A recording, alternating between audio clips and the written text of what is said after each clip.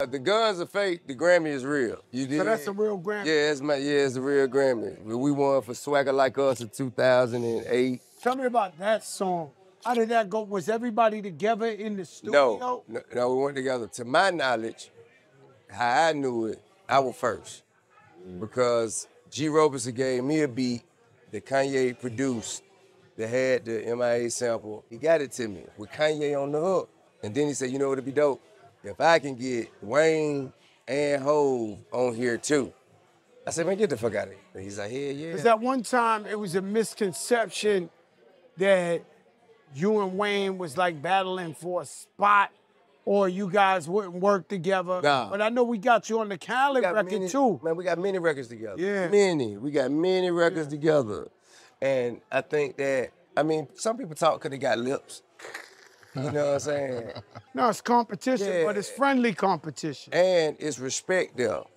The toughest fight you had, regardless of who it was you fought, you left there with a respect for that person. That's right. That- It- that's what it's all about. Got to be that.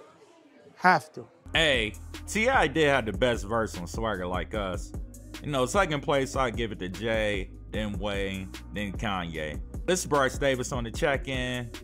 And see, people wanted to see a T.I. Lil Wayne beef back in the day. You know, this also came when Lil Wayne killed this beat on Top Down.